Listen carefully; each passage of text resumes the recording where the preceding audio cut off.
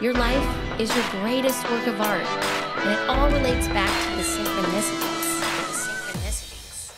Welcome to Integrate Yourself, everybody. I'm your host, Allison Pelot, and you can find me at finallythrivingbook.com. Today, I'm here with a very special guest, Susan Willson. She is a cross cultural midwife, and she has also always seen the body as intelligent and capable, and has spent her career helping to support and empower women to trust their bodies and work with the plan nature intended.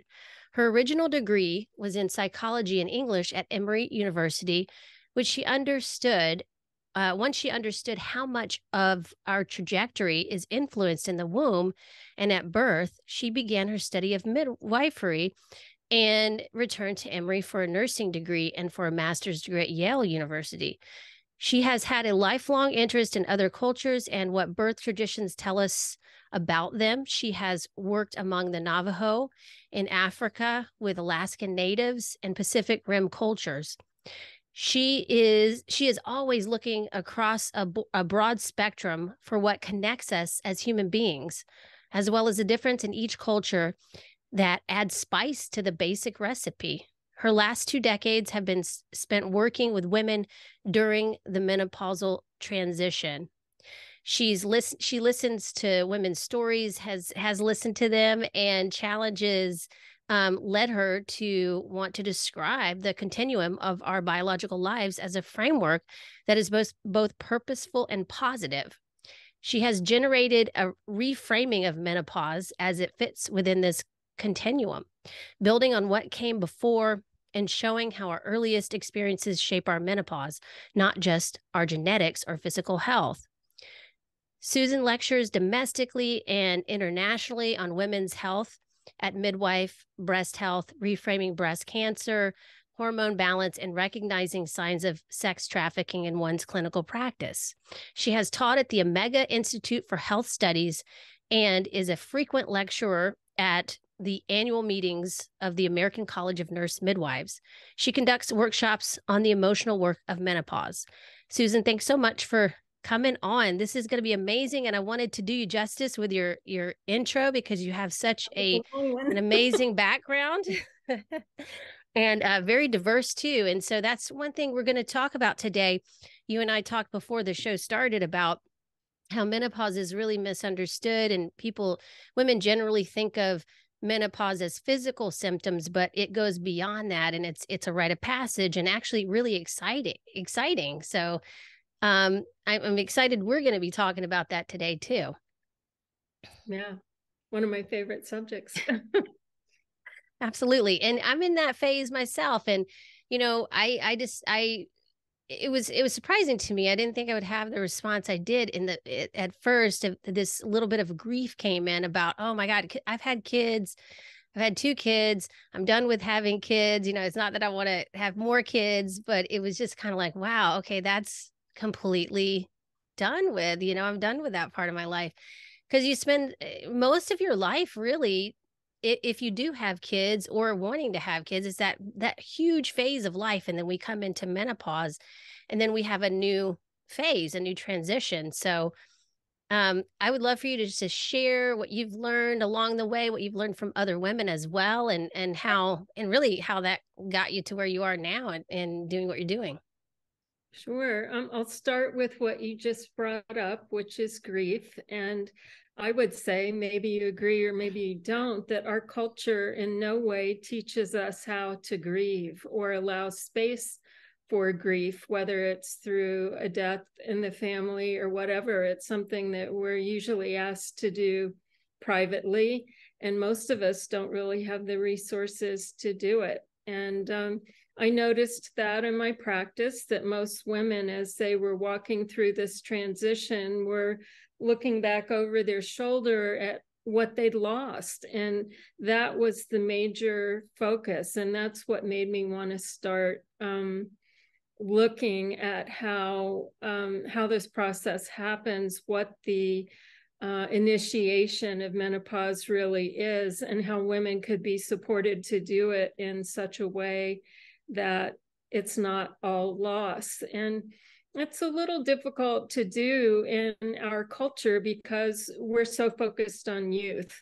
We really, um, I think of it as deifying 15 year olds. When you look at the models for beauty and the things that are held up to us as to what it is um, to live a good life, it's always youth. And often these days, the models are more like 15, 16 years old, being made up to look older so that's one thing that women going through menopause are really having to you know deal with is this cultural focus on youth another thing is that we really we're really the mine is the first generation to really start talking openly about menopause and share experiences um, up to this point just like i found the same thing with birth um, when women would talk about their experiences, often they're telling their horror stories because they had a trauma themselves that still is unresolved. And so when they would share stories about their labor, it was always how horrible things were, how the baby almost died. And, you know, our movies and films and TV programs in this country really focus strongly on that too. Birth is always an emergency, there's always something just barely avoided. And the same thing has come through about menopause because we haven't had an opportunity to really speak openly about this, to tell our stories. Um, often, what we have heard from other women is either the horror stories or it's still shrouded in mystery as to what's going on. And most women are kind of in this spin cycle before they even like wake up to notice what's happening or start thinking about it and yeah. so they find themselves in the midst of this vortex don't know what's happening don't know um, how to deal with it and uh, that's you know why i wanted to reframe this and put menopause back into the biological continuum of our lives because it isn't something that just drops out of the sky and happens to us. It's a natural part of the unfolding of our biological program. It's been planned for.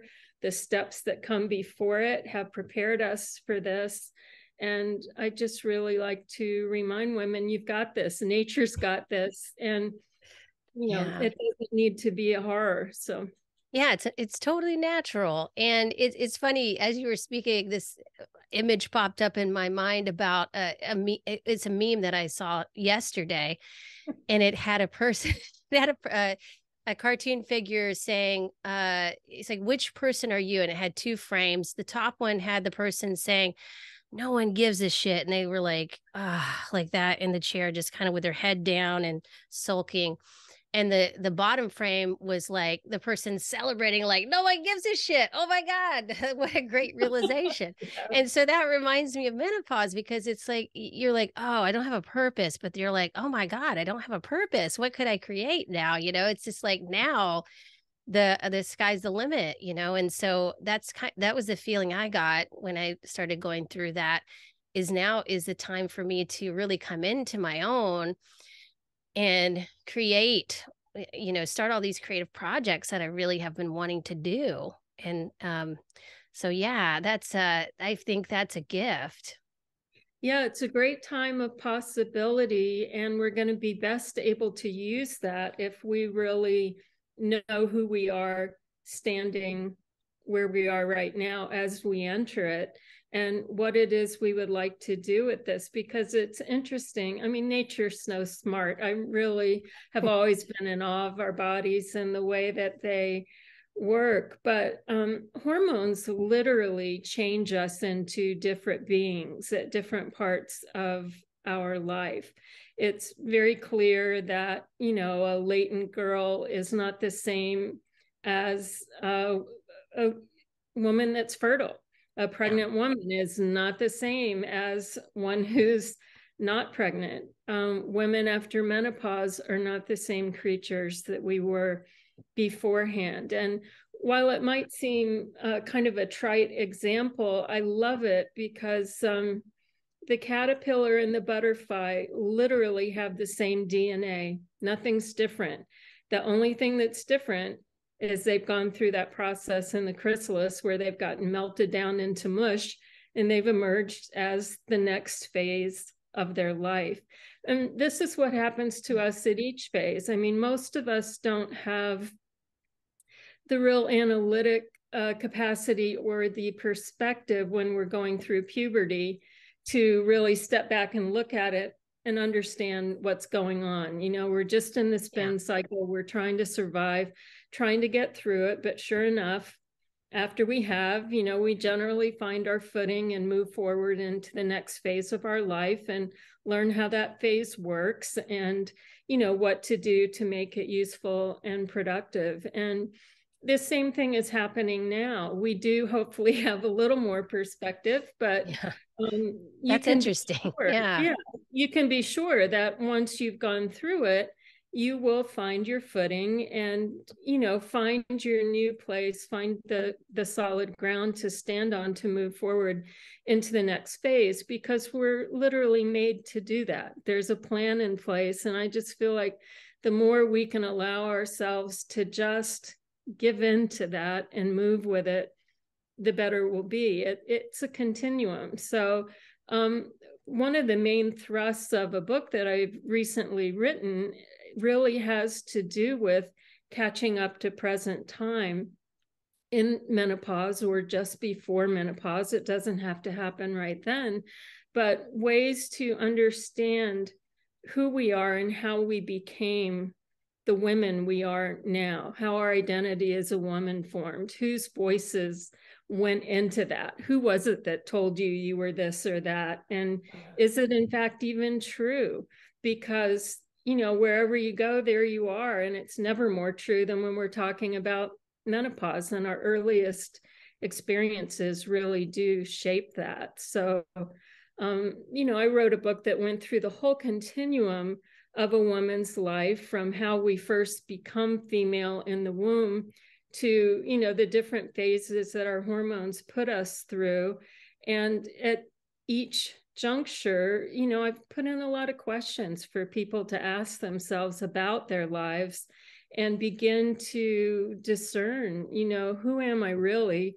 What's my authentic voice and how much of that has come to me or been put on me through the culture um, you know, religion, parents, teachers, whatever, because if we know who we are now, then we're going to be much more clear about what we want to do with the gifts that menopause brings. And our hormones literally change us. The hormones that are um, running the menstrual cycle, for instance, they make us want to nurture everything in sight, make babies, scan men for their genetic potential when they walk into a room, even if we're in a happy relationship. It's just that biological urge to reproduce and nourish. The downside of which is that it also helps us to become the doormats for our family in a sense and put ourselves aside to do all of that nurturing.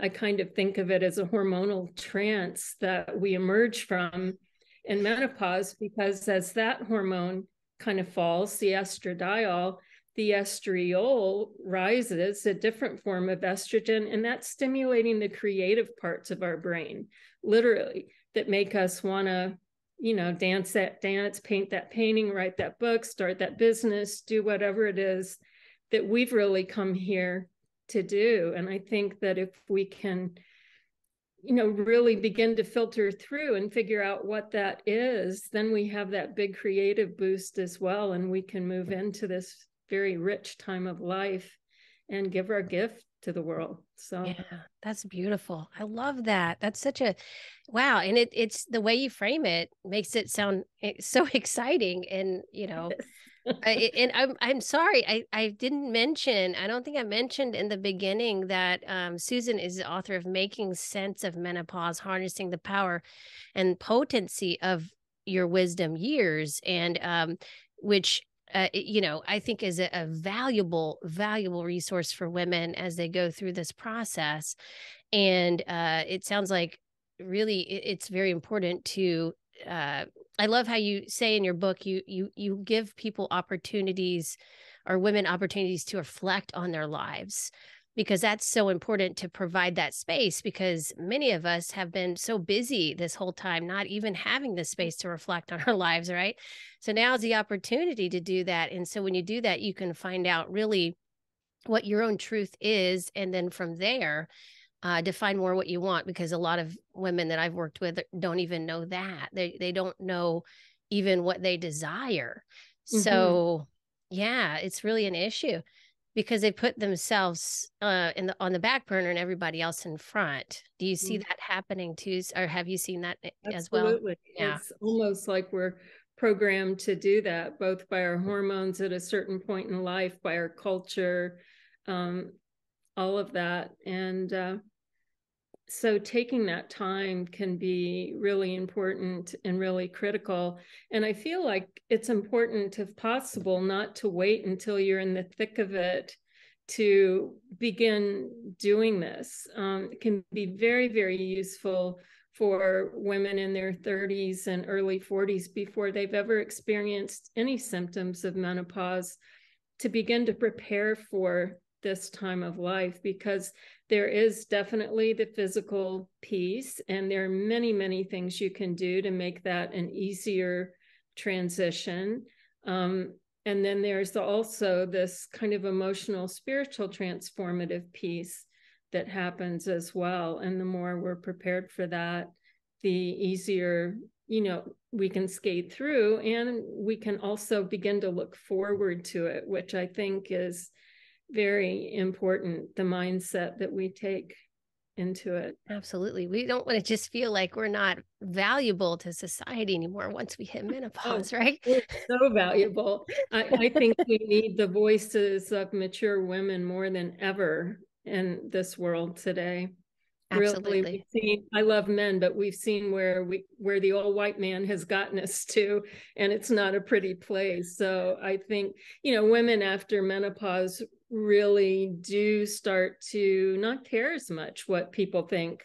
You know, they will say yeah. their truth and they will do what needs to be done. And um, the cultures that value this time of life, it's really the women, the matriarchs, the elders that are the container for those cultures. And they don't experience what we do as women um, in Western culture when they come to the menopausal years because elderhood is revered in their cultures and not seen as a diminishment.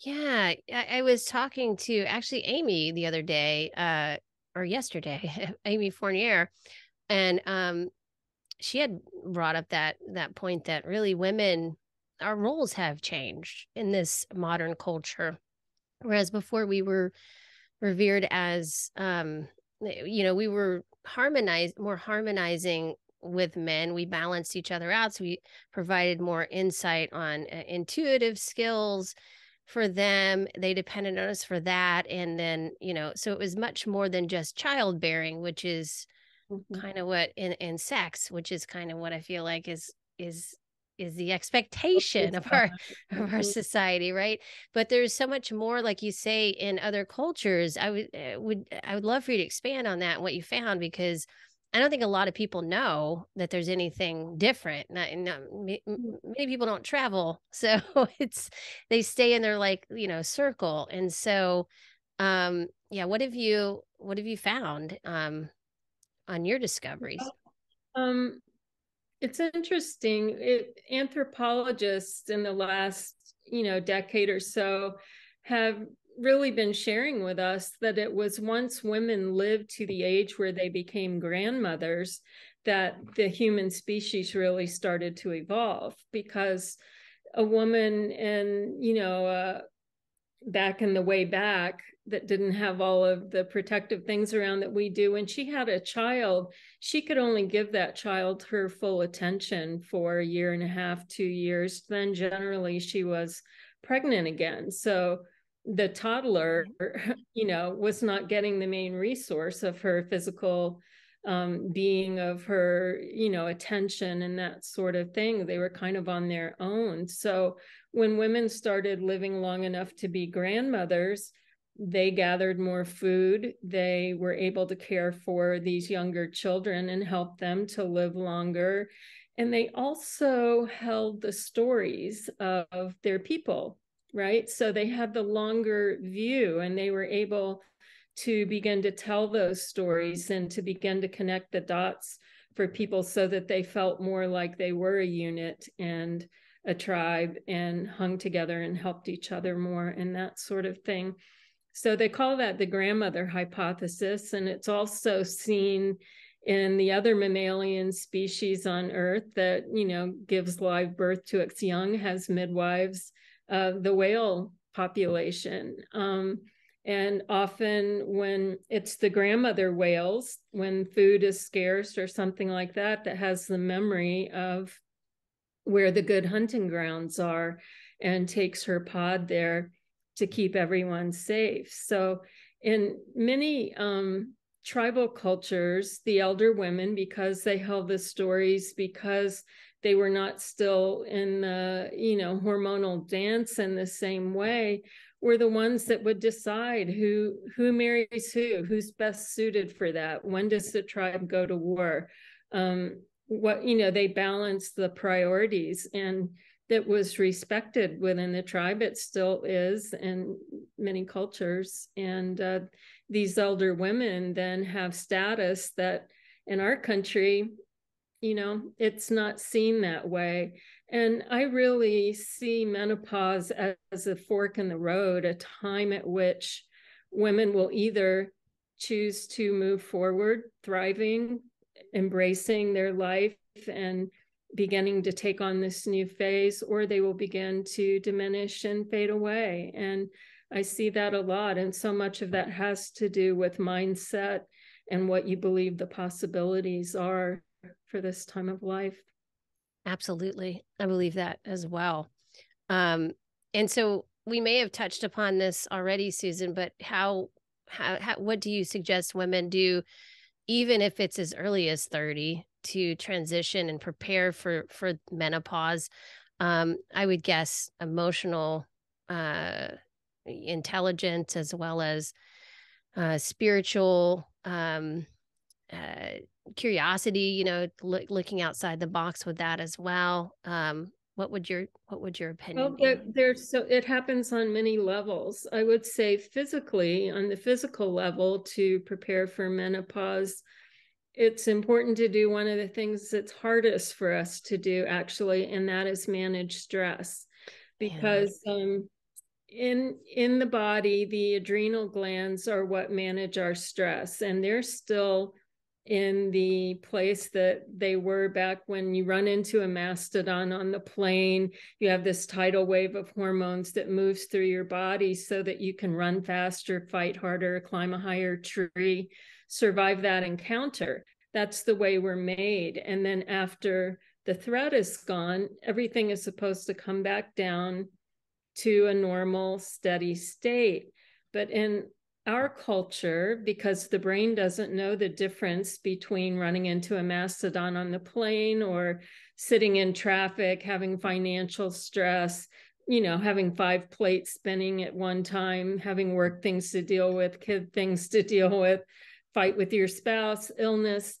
To the body, that's all stress. It sees it the same way. So it mounts that fight or flight, but then it keeps getting triggered over and over and over through the day. And because it lasts two to three hours, that whole process, once it's triggered, we're in kind of a constant state of stew, or, stew and chew or you know low level fight or flight. And that's often why women wake up in the middle of the night actually. They have a mm. drop in their blood sugar and the body mounts fight or flight to raise their blood sugar levels because the brain is dependent on that being very steady state i think um, it's also especially given the way that we're culturally groomed to be a certain way these days, it's important to make the point that there's good stress and bad stress, but it's all stress to the body. You can have a woman who loves her life, who gets up at 5:30 in the morning to hit the gym so that she gets her physical exercise in and goes to her job fueled on her morning latte and you know has a busy day doing something she loves out to dinner with friends and home and in bed by 11:30 or something. But she still is not getting enough sleep. She's in fight or flight all day. She's running on caffeine. Um, you know the body doesn't take the emotional hit it does if you have a woman say who's having to hold down three jobs or has an abusive partner or something like that right. but the body stress is very similar and so nature's made it so that when the ovaries begin to wind down at menopause and don't make as much of the estradiol that's run our menstrual cycle it becomes the job of the adrenal glands and the fat cells to make our hormones for the next part of life and if we arrive at that time of life with our adrenals exhausted from all the stress that we've been under constantly, there's nothing there to catch that ball. And that's yeah. when things start to spiral downward. I've had so many women say to me, well, yeah, you know, I have stress in my life, but nothing more than usual. I've been dealing with it. And all of a sudden I miss a couple of periods and I'm having hot flashes and night sweats and can't sleep and I'm gaining weight and I have no libido and my hair is falling out.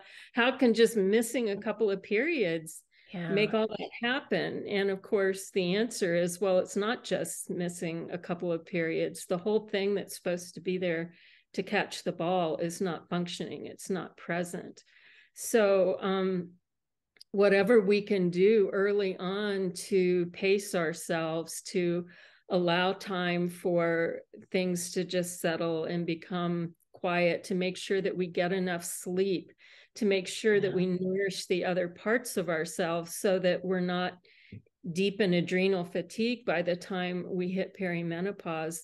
That's going to make a huge difference. Um, but it's very hard to do. So many of us are caught in situations where we feel like you know, I wish I didn't have to work this much, but I have to, you know, my family depends on me. There's the financial piece, you know, all of that. Um, and in those cases, I think it's always helpful at any time of life to kind of make a very simple thing, make a good for me, bad for me list. Okay, yeah. what what do I spend my time doing every day? Just put it down there, whether whether it's picking up your teenager socks or you know, doing the dishes or all the things that mothers and women take on for the people in their family. What nourishes me, you know, on the other yeah. side, what is it that nourishes me, helps me to feel more full, more relaxed. And then, you know, go through your list, be, you know, be really honest with yourself and go, okay, maybe can my teenager pick up his own socks? Check you know yep. delegate whatever you can delegate let go of whatever's no longer nurturing you or positive in your life and add more of what brings you pleasure. You know women have really been raised to think that having pleasure is a selfish act somehow but you know we're supposed to be living in joy and pleasure has so many wonderful effects in the body on the brain, on the nervous system, on your body, and on your hormones and the way everything works. So, you know, I, I would think it would help you man deal with stress too, right? It would be a little absolutely. bit more resilient. Yeah. Mm-hmm. Yeah. So that's one of like the first little exercises that I suggest that people do. And of course, there's going to be that category in the middle where you know maybe you're taking care of an aging parent and you're the only one or something or you have a family member in your life that is just very difficult to deal with. And yet you you can't just walk away from that. You need to stay in the room. So you can figure out ways to create boundaries in those situations. Get yourself a little help if you can when you need it. But it's so important as women to be on our own list so to speak and yeah. also you know, to make sure that we're keeping that balance because we really don't want to arrive completely exhausted at the next stage for ourselves. Absolutely. Yes. I, I agree with everything you said. It's, and I teach a, a, very similar approach too. I used to do a lot more nutrition coaching. And what I would tell women is that you you can you can't give more than you have so if you don't have enough reserves you you know it's going to drain you you're going to get hit fatigue after the adrenaline wears off and that is also um i used to tell people or i still do you know if you're feeling like you can't sleep at night then start eating small meals to just nourish yourself uh, throughout the day so your body starts to regulate blood sugar so that you can relax when the night hits right? So and, and then yeah so it, you said so much within that i was just like ah yes yes Sorry, and, and, it's the joy yeah the joy aspect that we forget I've, I've been teaching also people how to how to bring more joy into their lives because i don't think a lot of people know how and they don't un- know right? It, they they it has it's not role modeled what's role modeled is the the striving and hustling uh archetype or whatever that is you know it's just like mm-hmm. keep going you can do it all and i just think there's something so wrong with that you know yes mm-hmm. we can do it all but do we want to do it all what do you really want to do right yeah for instance i think if someone has a goal of making money before you ever start it's important to say to yourself how much is enough because otherwise you're just chasing after yeah. it. You know, it's always need more, need more. And the same thing is true in our lives. And simple things like good for me, bad for me list, creating a rhythm in your life saves so much energy because if your body knows when you're likely to be more active, when you're likely to eat during the day, when you're, you know, going to sleep, it can have the appropriate amount of energy available for you to do that when it kind of is expecting it. If we're random all over the place, you know, the body has to have high energy online all the time in case we need it and it uses it up. So it's kind of like a bank account. You want yeah. to conserve so that you have it when you need it. But if you're spending needlessly all the time, it's not going to be there when you really need it. Yeah. So just very simple things. And I also suggest people just move toward the open space. Start with one thing you feel like you can do that it has a huge ripple effect. You know, if we try to do everything at once and, you know, right. change our lives all at once, it's much often harder to do it that way. So, you know, there are lots of things that um, we talk about in that regard, and also things that, you know, can be helpful in terms of nutritional supplements or bioidentical hormones if you want them or you know and we as i said we all are who we are when we arrive here. So for one woman who might have been dealing with a lot of this earlier all they need is a little lifestyle change. For another person it's just a little tweak of hormones. For someone whose adrenals are exhausted they're going to have to make some bigger lifestyle changes. For someone with un- unresolved trauma in their past, they may need to have some time with a therapist to begin to work through that before the way opens and you can really step into it. But it's wonderful work to do. It's very, um, you know, it feels good to do it too, to really finally spend some time on ourselves and some yeah. thought you know about looking back at our life and begin to pull out the learning and the wisdom and what it's all been about to finally have the perspective to do that. Absolutely. Yes yes. Yeah and it's it comes down to learning just the act of prioritizing yourself if only 10 minutes a day whatever mm-hmm. you can start with. And then uh like you said um you know, I wrote a book as well, and this I, I actually it's so funny because I remember now when I was listening to you uh, uh, on Amy's show, I was like, oh my god, that's this that's what I talk about too, and it was just like, wow, there's so many similarities there, and uh, talk about being selective with your calendar. Get your calendar out. What do don't you need on it? What you know, what is essential? What what brings you joy?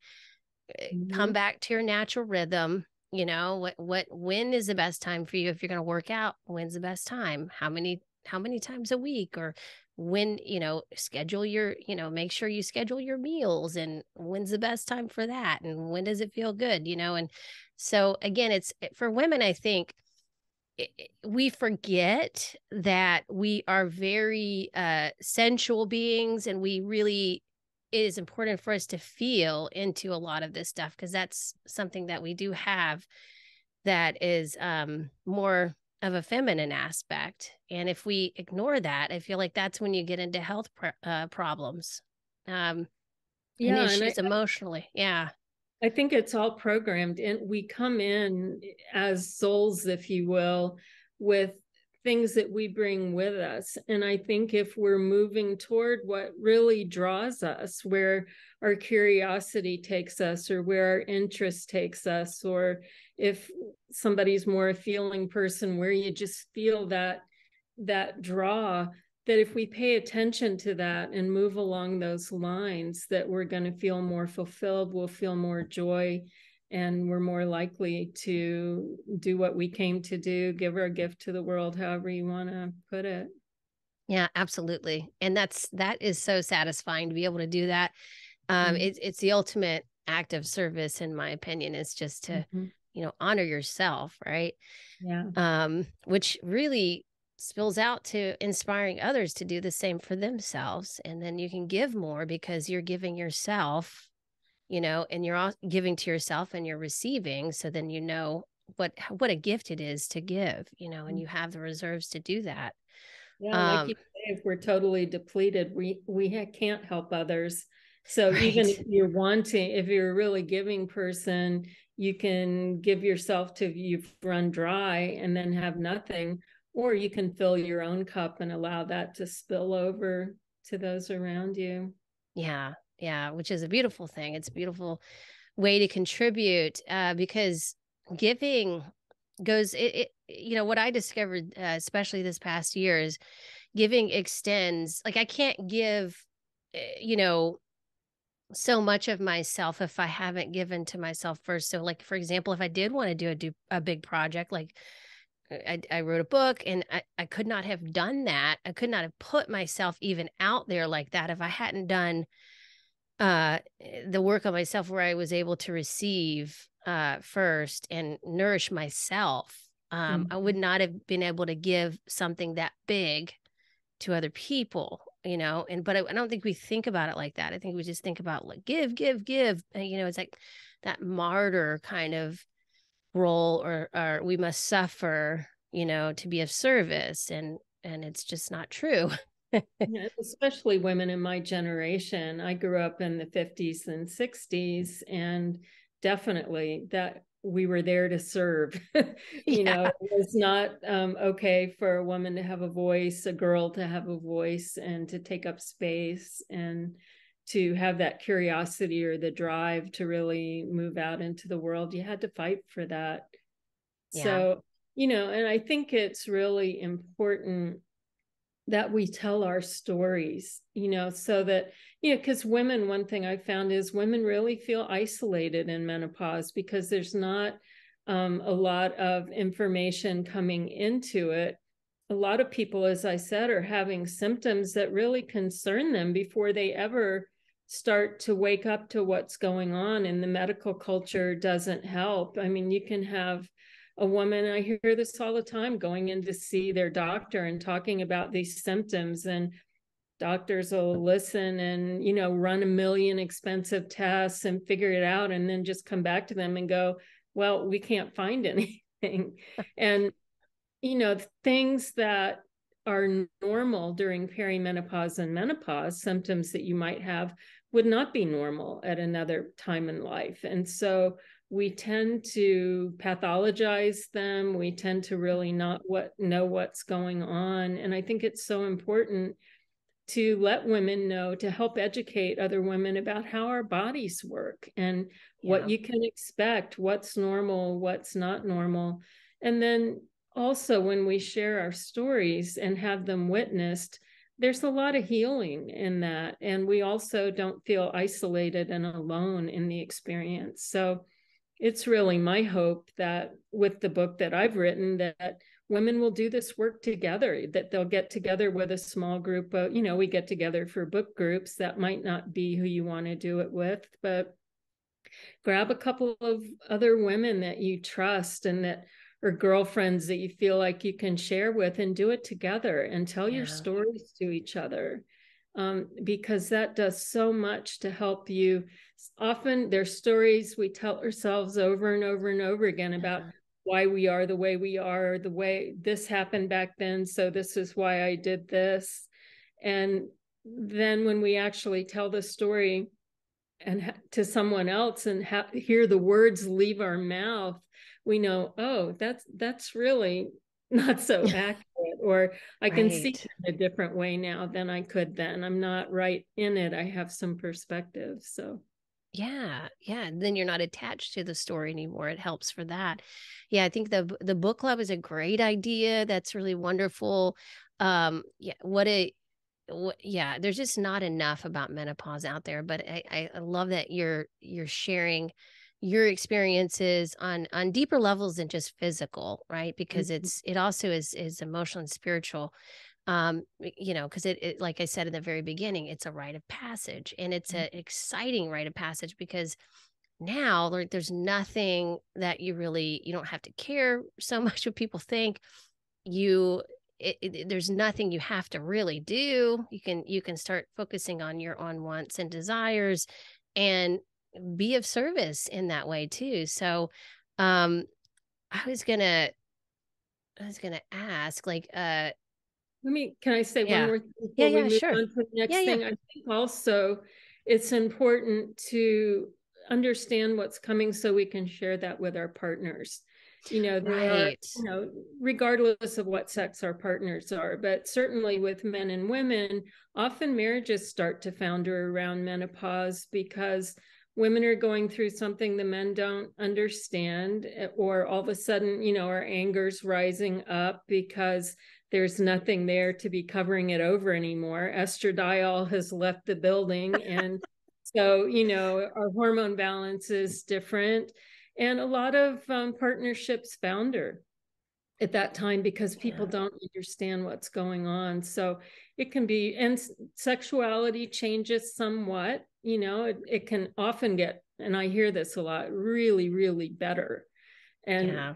so i've heard um, that too. mm-hmm. yeah. So you know it's not all a downward slope but all of it requires communication requires time presence.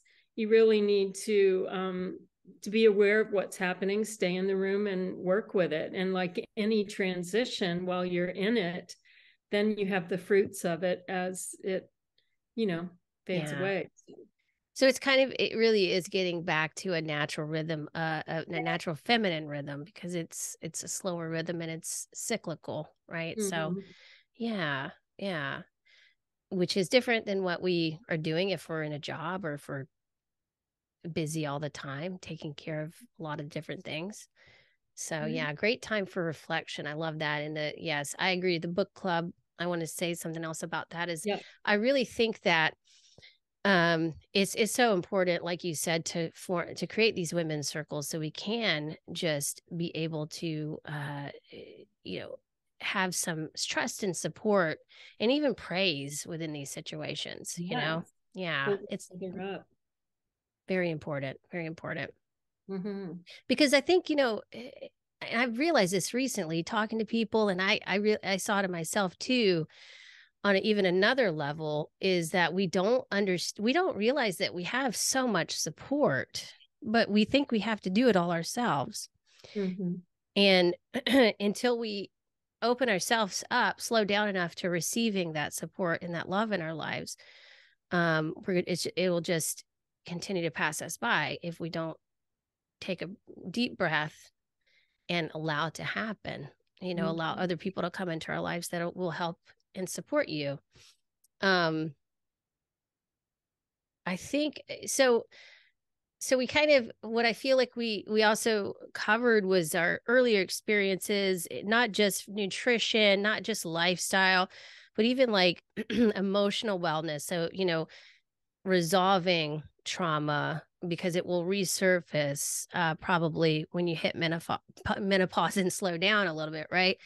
Um what yeah so I'm, I'm guessing that would be an important thing. You can do i mean you can do that as early as your 20s and you know but uh but i think that is very important also to start to just pay attention to the stories. You know have they been like you said been passed down to you from generation to generation? Are you still believing that about yourself or are you ready to create some new beliefs there for mm. yourself too?